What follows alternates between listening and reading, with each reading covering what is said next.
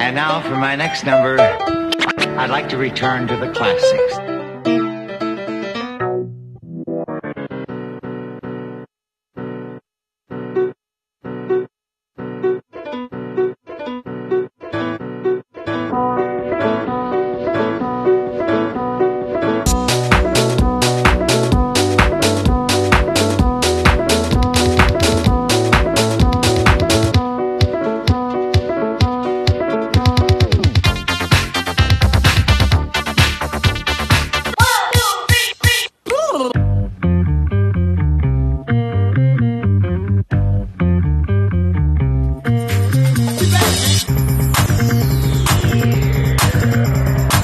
Name is Giovanni Giorgio, but everybody calls me Giorgio.